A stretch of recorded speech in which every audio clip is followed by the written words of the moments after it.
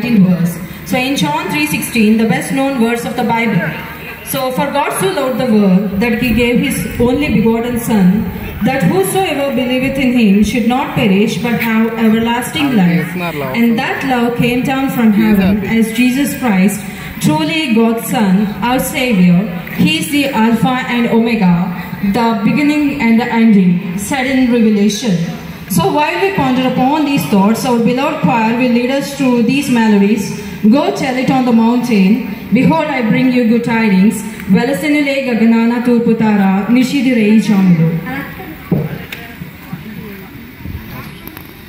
రేయి